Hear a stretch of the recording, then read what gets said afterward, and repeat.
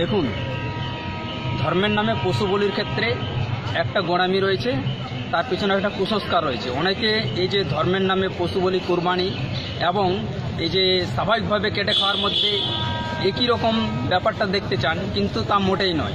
এই যে ধর্মের এই যে বল, ভোলালা জোড়াই বলুন, এই যে আপনার মৈতড়ে বলুন, এই যে দুর্গাপূজাতে খাটচিরিতে বলুন, এই যে পশু বলিগুলো হয় প্রকাশ্যে আর কি।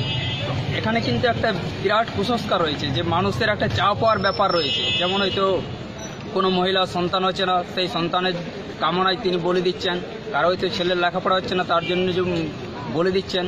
আবার কারও হয়তো কোনো মামলায় হয়তো তার জেতার আশা আছে এইরকম বিভিন্ন কারণে কিন্তু মানুষ পশু বলি দেয় এবং তার পেছনে একটা উদ্দেশ্য থাকে, একটা চা পাওয়া থাকে। কিন্তু এই যে স্বাভাবিকভাবে যে আমরা এই যে মাংস খাই, কেটে খাই, সেখানে কিন্তু এরকম চা পাওয়ার এই ধরনের কোনো কুসংস্কার নেই, এরকম কোনো অলৌকিকতা কিছু নেই।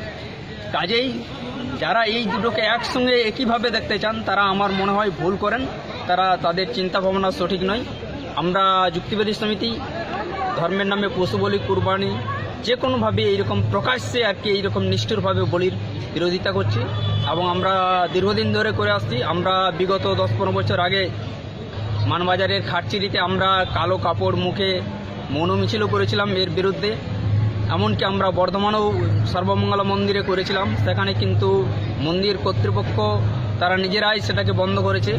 আমরা আশা করছি এই রকম ধর্মের নামে যে পশু হয়, তারা নিজেরাই, নিজেরা বন্ধ করুক।